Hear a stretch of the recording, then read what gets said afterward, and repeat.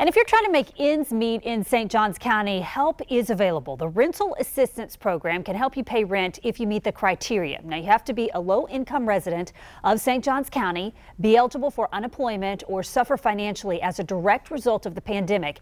And you have to be able to demonstrate that you're at risk of homelessness. You can sign up on the county's website or you can call 904 344 3188 to get more information.